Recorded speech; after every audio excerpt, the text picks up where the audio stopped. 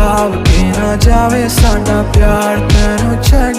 ਕੇ ਹੋ ਜਾਵੇ ਤੇਰਾ ਹੀ ਦੀਦਾਰ ਤੇ ਕੋਈ ਨਾ ਸਵਾਲ ਵੀ ਪਾਵੇ ਸਾਡਾ